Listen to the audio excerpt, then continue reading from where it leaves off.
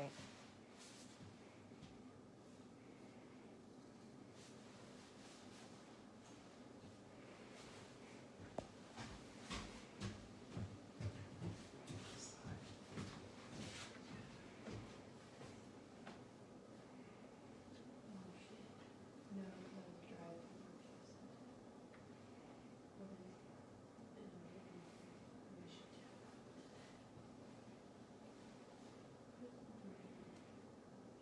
Good morning, everyone. We will start our event in just a couple of minutes. We'll wait for a couple more viewers to come.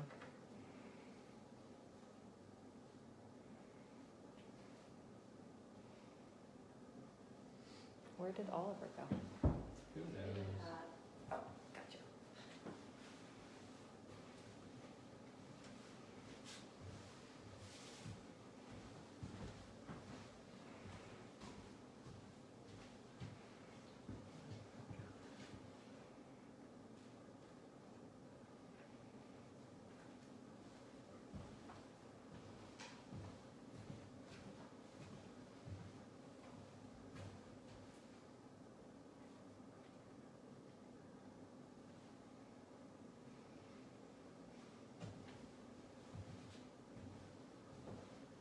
Let me know when it's nine o'clock, everyone. It's not It's fun. nine o'clock. Okay, great. I'm going to do this and then we all start talking. Just a moment. Okay. Caroline, are you back here? Yes. Okay. Okay. Can you see me?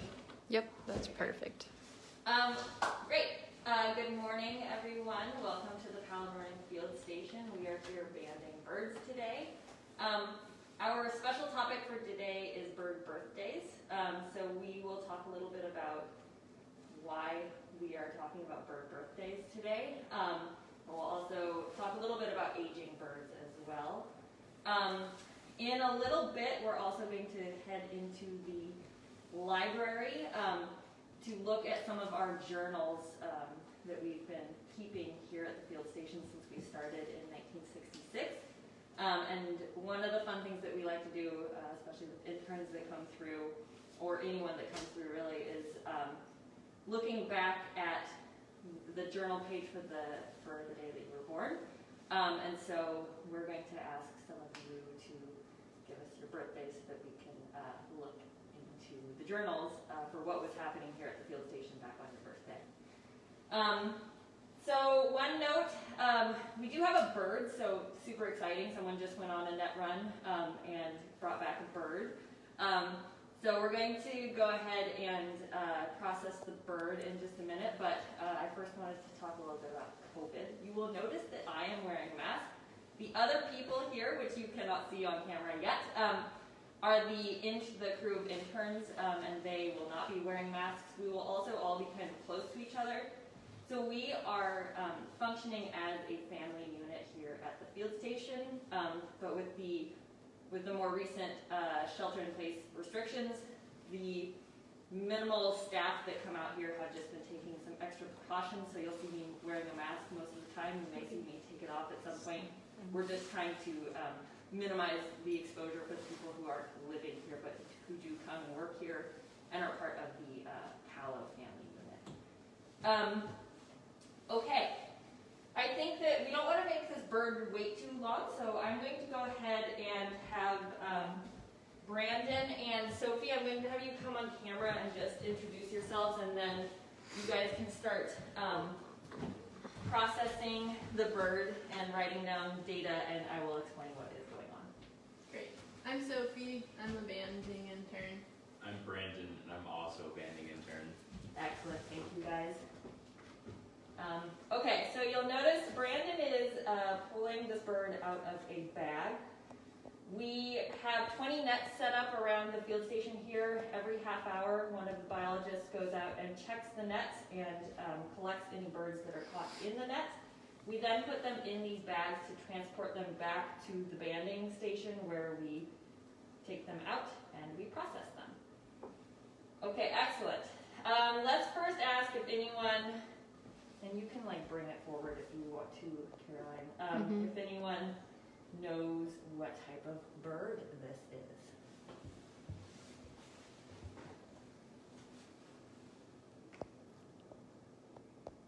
Good, We have terrible lighting today in here. There we go. Okay. Any guesses yet on birds? Um, I will wait a moment to let some people guess, and then we will tell you who this is. Um, you can go ahead and start processing Brandon. Okay, so one thing that you may notice with this bird is that it already has a band on it. So Brandon is reading out the band number to Sophie. And um, all of the birds that we catch, One five zero five. we put a um, an aluminum band on them that has a nine-digit number, and that nine-digit number is then unique to that bird, so that we can track it over its life if we catch it again. We got a guess for Okay, the great. species. Um, wrentit. Excellent. Yes, this is a wrentit. Um, and so another thing that you'll notice about this bird, um, Brandon, you may want to show the color bands. Yeah.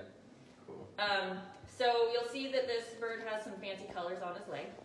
That is because wrentits um, are one of our study species here, and so we use those color bands in order to um, identify individuals in the um, in the field.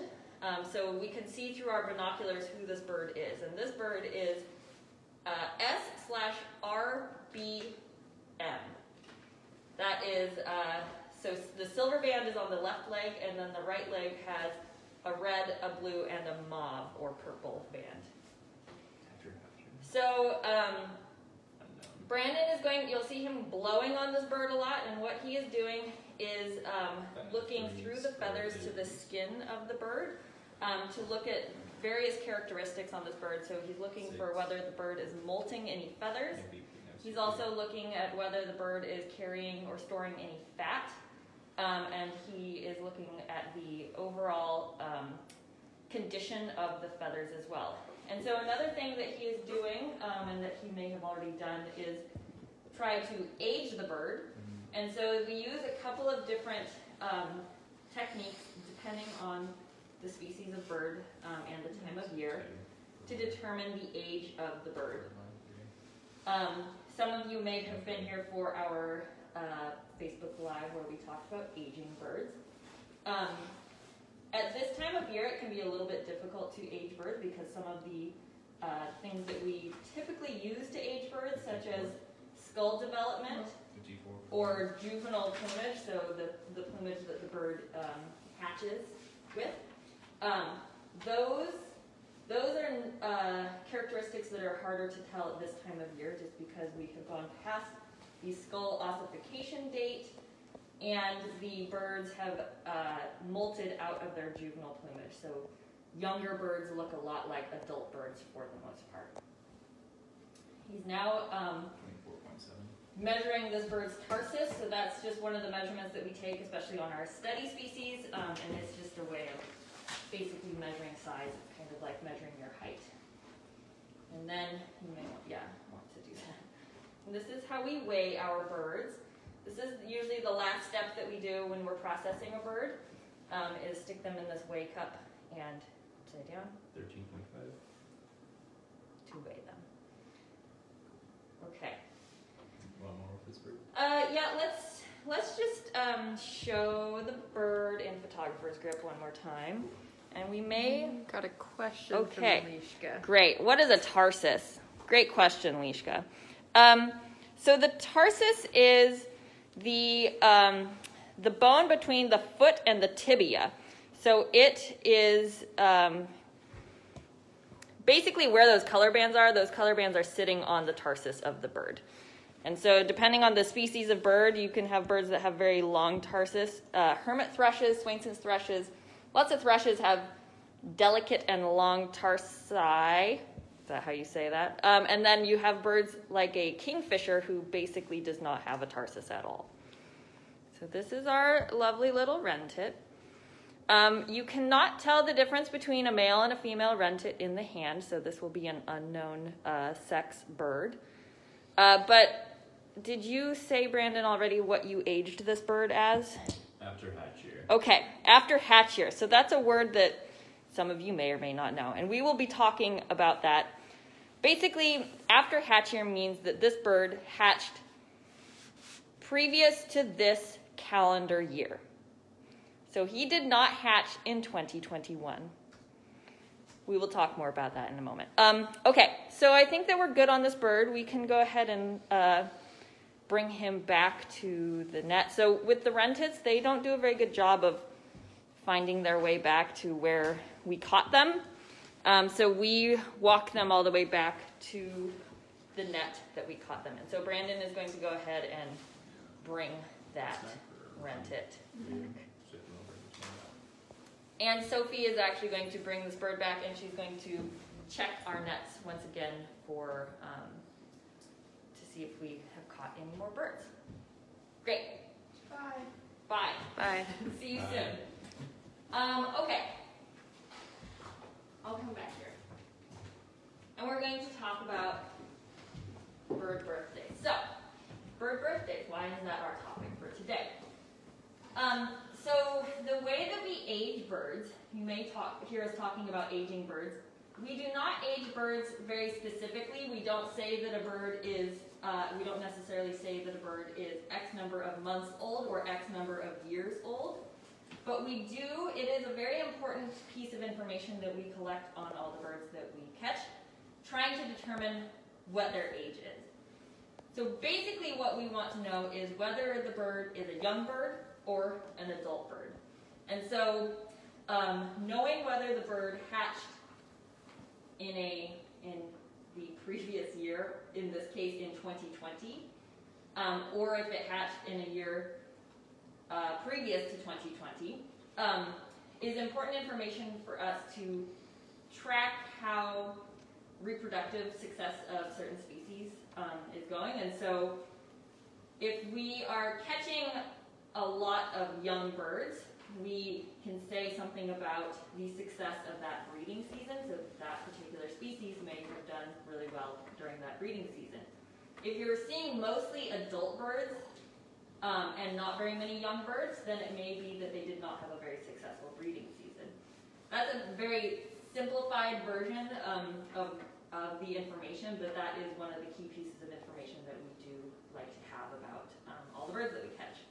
So when we talk about young bird versus old bird, um, we use the terms hatch year and after hatch year.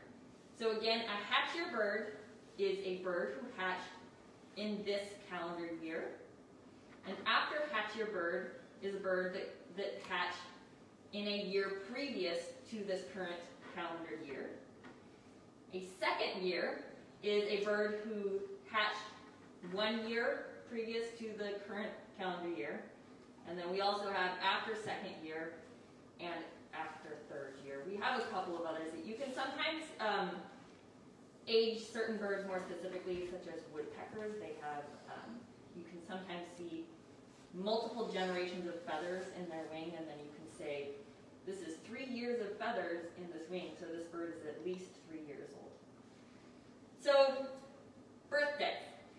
So since we talk about aging birds within a calendar year, that means that on January 1st, all of the birds that we called hatch year in the previous year become a second year. All of the birds that were an after hatch year in the previous year can be called an after second year because we use the calendar year and not the number of years that the bird was actually alive for.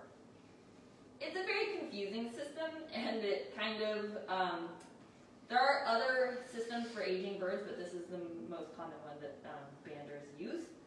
Um, so that wrentit, we called it an after hatch year. We, so basically all that that tells us is that we know that that wrentit did not hatch in 2021. So it is not, what is the date? Is the sixth? It's, it is more than six days old, and we know that for sure. Because it is full-sized and has um, adult-looking feathers. Um, so at this time of year,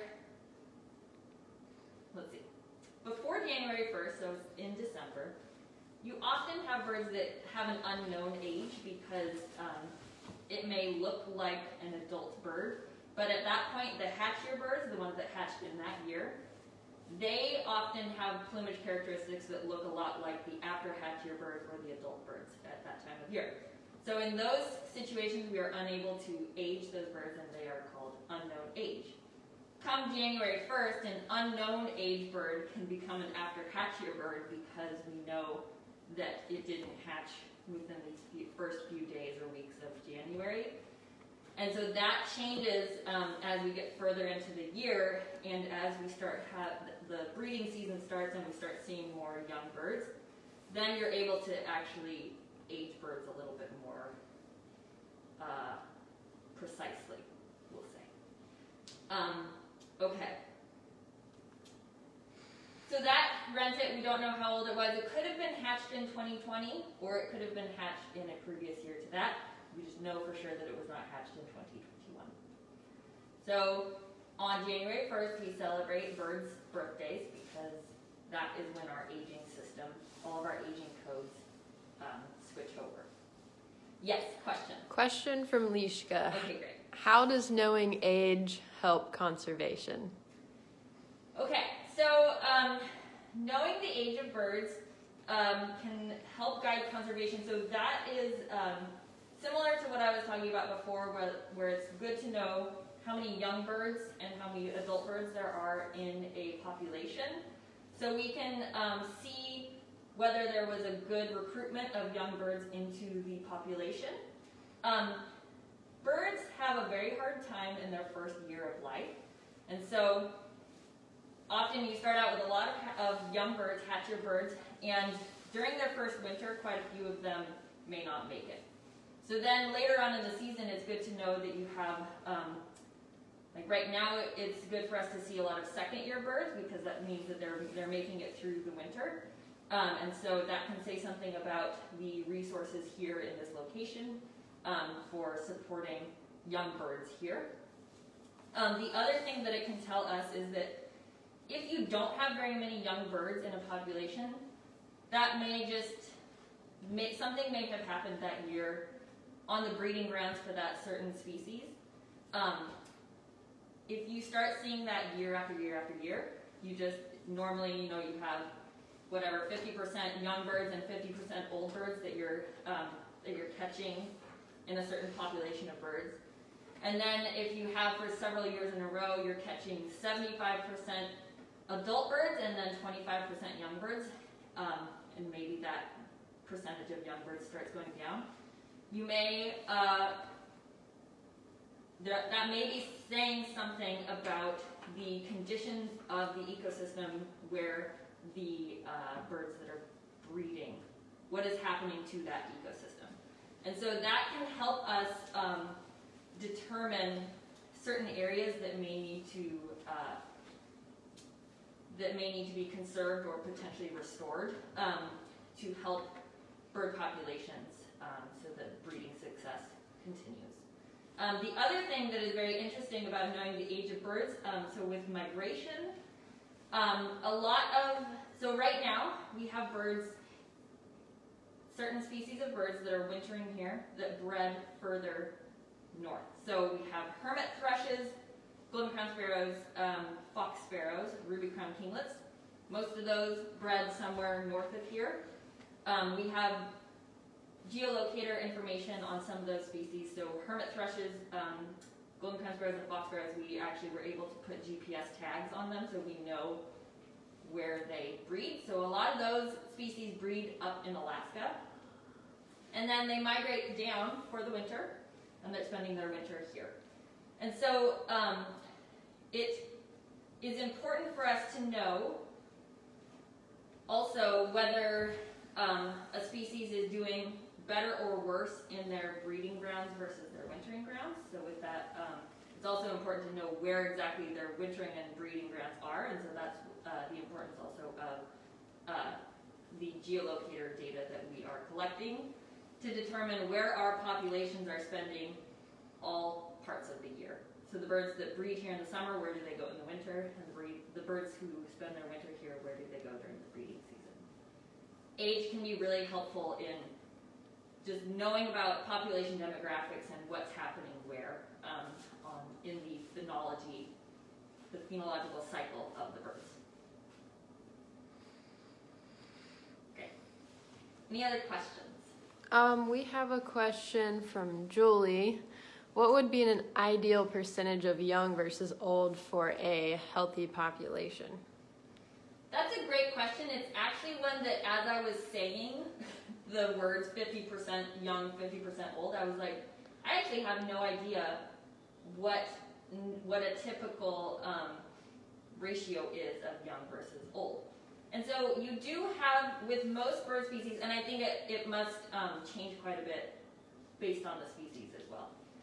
Songbirds probably are all somewhat similar. There may be, um, you know, depending on whether a species is migratory or not, that may also adjust the ratio.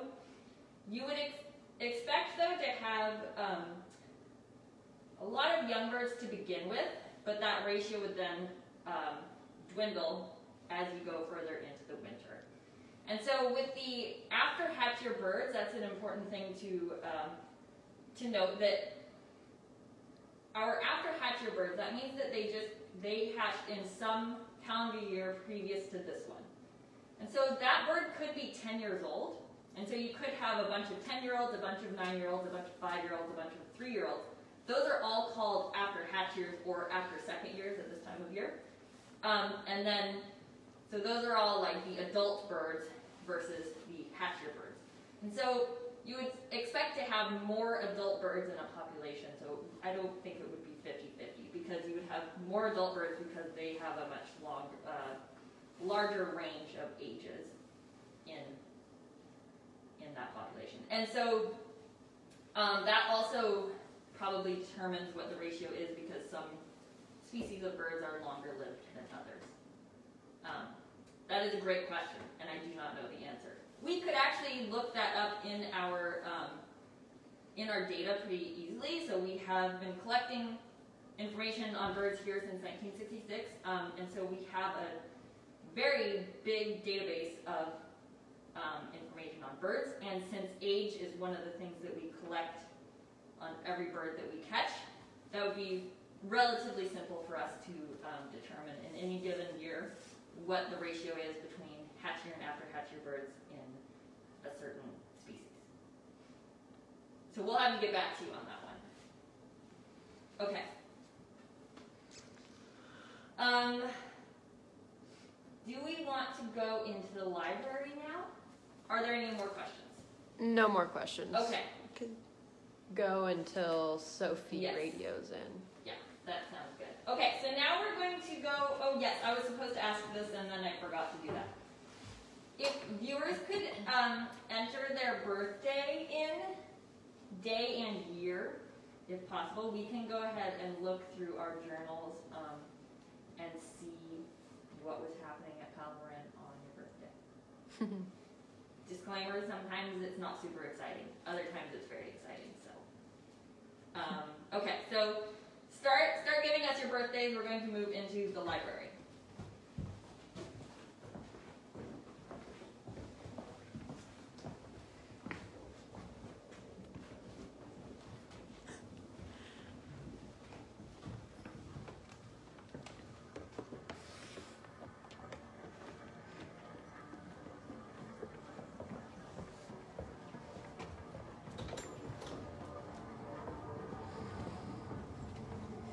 Okay, let's maybe set it up there, point it Okay. this way. Okay. And we can welcome everyone to the Palomarin Library. Okay. Have you seen it? Yes, I'm just gonna. Ooh, Oh, what is it, a Ricky? Ricky, should Copy. we go back? Yeah, I'll talk about the library real quick.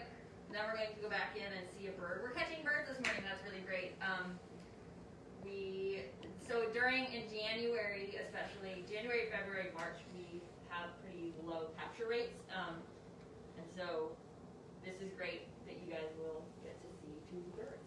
Um, okay, so this is the Palomarin Library. Um, this is where the interns who live here, this is kind of their living room. This is where um, they spend a lot of time after hours. This is also um, a meeting room where we have meetings. In non-COVID times, this is also a, a place where um, other Point Blue staff and sometimes our partners, so um, some of our partners with the park or with MMWD or one time they may come here to meet and talk in this space. Um, this uh, building used to be a school for the Church of the Golden Rule, um, and so it has been a space of learning since it began in the early 1900s. I don't actually know when this building was built. But now it's our library. We have lots of books, lots of um, journal, bird journals, a lot of field guides and stuff over there. You have a question just a moment. And then all these red books here, these are our Palomarin Field Station daily journals. And so that's something that the interns still do um, on a daily basis. One of the jobs that the interns do is uh, write about what happened that day. So they write about the birds that they caught, the birds that they heard and saw around the field station, and then they also take information on weather and write a little bit about what happened that day at Palo. Okay. Julie wants to know Did we take all of those books out during the fire? Yes. Great question. Okay. So, um, so that's something that um, we are still in the process of doing. We started this actually last, maybe about a year ago, previous to the fire. We started going through, we can also maybe like walk them through the data room just to show them the amount of books and data that we have. Mm. And so we started um, going through all of our books and data and determining which ones were high priority for us to um, to evacuate if we ever needed to. So this is a lot of data. This is called the data room. Um, I will talk about all the data that is out on the counter in just a moment. Um, so with our data these days, um, all of the interns they um, they collect data daily, they enter it daily, and then they proof it. And at the end of the year, we scan everything, and so everything is has a digital copy scanned and also is entered into our digital databases, and then we have paper copies. That is just our standard protocol now. Um, but back before we had computers and scanners, that was not our our protocol. So all of these books that are out on the counters, these are all, this is all data that has not been scanned and may not have a digital copy otherwise, so it may not be, the information may not be in a database in our system. So the everything that's out on the counter right now, those were all evacuated with us. These are high priority because if we lose these, we lose all of that information. It's nowhere else. So right now, we actually, the reason that they're out on the table is because we are going through and scanning everything so that we at least have scans of all of our information, um, so that if something does happen, then we, um, we still have a copy of it. So, um, with the journals, we do, we have scans of all of our journals. That was something, that was a priority, um, in previous years, we made sure that all of the journals got scanned into our system. But we did bring all of the journals with us as well because they are they are still you know very special and um, one of a kind. So that was the journals and a lot of the data that is out right now. Those are the things that we brought with us um, evacuated with us with the fire so. Um, that was a great question. Okay heading back into the banding lab now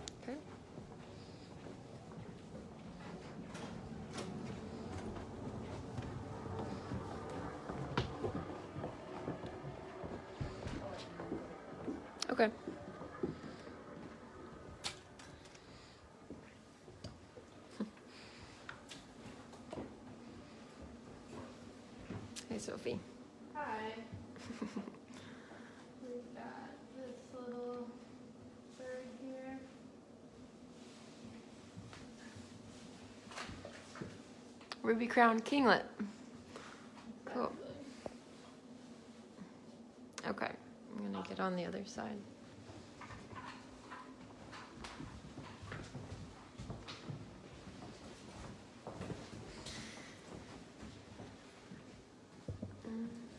Great. Have you done anything with this Ruby Crown Kinglet yet? Have you aged it? Uh-huh, I aged it second year. Awesome, so second year. That means that this is uh, the second calendar year of its life. So Sophie um, has determined that this bird was was hatched in 2020. So this is a young a young bird. He was called a hatch year back in December, and today he's called a second year. Um, and is this a male or a female? This is a female. Great. We'll show you how Sophie determined that this was a female. Um, so the with a ruby crown kinglet, you may wonder why are they called a ruby crown kinglet? Because this one does not have a ruby crown. Because it is lacking a ruby crown, um, that means that it is a female. So if it had a red red crown, then we could call this a male bird. And she determined the age of this bird. So um, again, uh, we talked about aging birds in a previous um, Facebook Live, and so one of the things that we do with we use with uh, with all birds is the shape of feathers. Ruby crown kinglets, especially, we can use the shape of their primary coverts. Um, so the primary coverts are these are their primaries. Those are the wing, the main wing feathers. You have primaries and secondaries, and then these this little tract of feathers here. Those are the primary coverts, and they are just covering the top of the primaries. Um, and so the the primary coverts and also the ret- rectrices or the tail feathers, they'll be much more narrow and tapered on a young bird. So Sophie determined that these feathers were narrow and tapered, um, and they would be broad and truncate on a an adult bird. So narrow on a second year bird, truncate on an after second year bird. Great. I'm done taking data on it. Okay. Um, let's maybe. I know I'm making you like bring us everywhere, Caroline, but It's let's okay. watch her uh, release it. Okay, Yeah. Let me shoot out there. This way. Thank you, Brandon.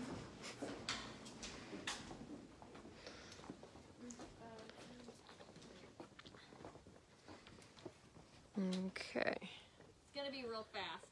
Mm-hmm. Or not if it's pecking. Sometimes we have to blow on their feathers. There it goes. Cool. Shaking it off. Great. Okay, so let's go back into the library and you can go this way. You guys are getting a, a full tour of um, Palomarin today. we have some birthdays in our um, in our uh, comments yet? Yeah. Mm-hmm.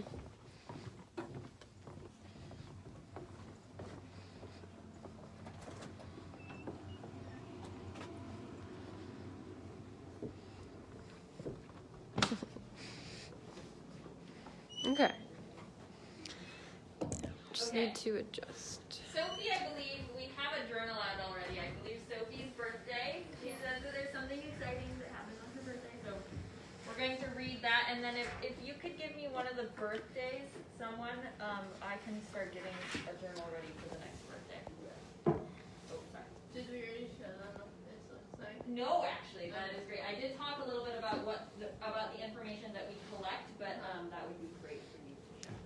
Do you want to bring it closer? or Do you want me to bring it? Wait, where are you going? I was just gonna show, Show them what the what a journal page looks like. Okay. So here is the journal page, and we have the weather that we take every day up here, and then um, it's changed a little bit over the years. But here we have like a description of the weather, and then a little bit of a um, description of the day, and then the birds that we caught in that day.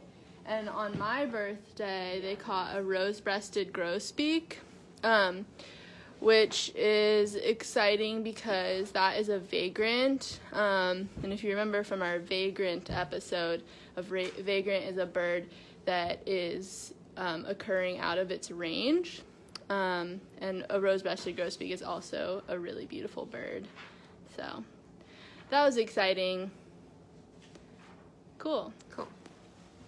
We had a, a birthday November seventeenth, nineteen seventy-nine, is that? Yes. Okay. Um, so, let's see. Leishkas. Leishka's birthday, okay. This is a funny journal entry. It, it says, too much confusion around here. The journal was neglected for three days. No one can remember. I don't, I mean, it's kind of funny because the last, the previous three days, I guess they just had, um, birds written down, but they didn't actually have journals about what they had been doing those days. Um, it was a cloudy, somewhat rainy and drizzly in the morning, and then it cleared to a truly beautiful day. Hmm.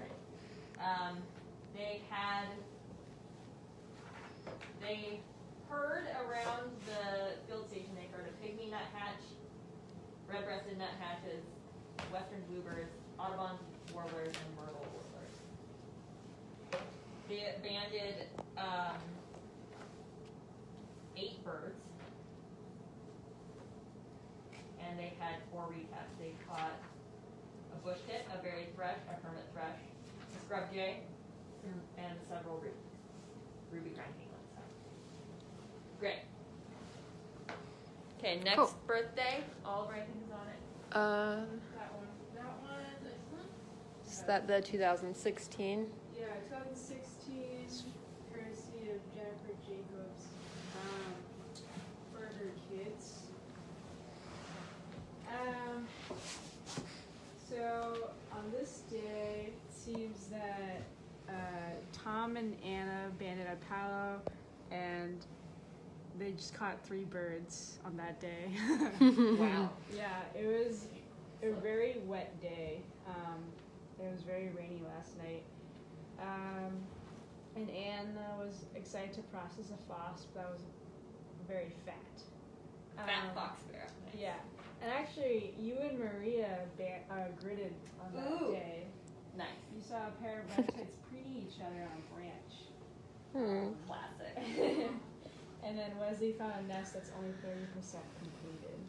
Uh, you and Maria found a nest that had to be up in the Douglas fir.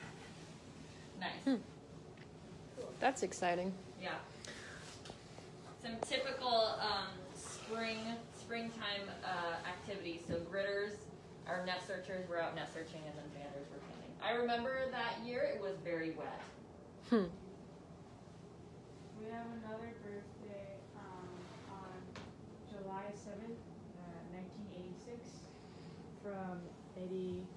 Uh, sorry if I butchered your name. Let's see here, his pictures.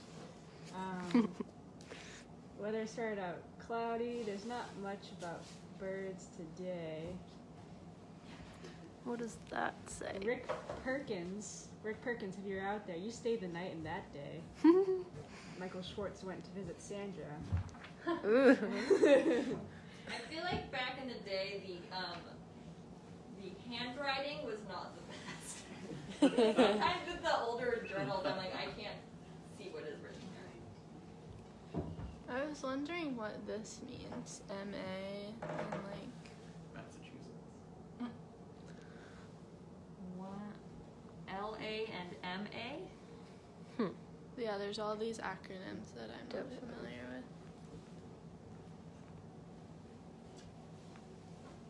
Maybe that's how they used to age. Do we have any older journals? One, one lady, one There's male. from 1958. Oh, 1958 we do not have. Oh, I'm sorry, Julie. We don't have 1958 for you. We could we could do your birthday on a like not the not the year but a different um Oh, yeah. This past year. 9, 12, just random what? Random year? earlier. As close as we can get to your birthday. Which year is this? This 65 to 66. Cool. So it's a 9 to 12. When you're seven years old, oh, this is gonna be an exciting trip. Seven years old. Okay. This is August. There's a chance that they weren't taking journals every single day back then. I don't really know. I haven't looked much at the super old journals. Okay. Um. Looks like people went birding at Abbott's Lagoon. Ooh. Heck yeah. That was in '65, so that was before we were here at the Palomarin Field Station. So we, our um, banding site was closer to Abbott's Lagoon than it is now. They got. Dowitcher killdeers. Yeah, it's a very um, Wild West sort of formatting here. I don't know what's going on. Baltimore Oriole, Yeah. A whole page on the Baltimore Oriole. nice. This one's the lark bunting. This is probably when they were discovering how they wanted their journals to be written. We got a comment from Jennifer. It says her Battle of the Sexes game is still there. We played that this summer. It was a very interesting game. Thank you, Jennifer. Hmm. Okay. Any more birthdays? You can still do the day. Did we do either Caroline or Oliver's birthday? Oh yeah. Nope. When's your birthday, Oliver?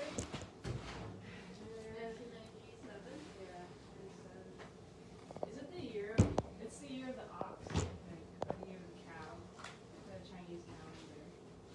97. Yeah. It's our time to shine. Um, That's my birth year too. yeah. Are you an?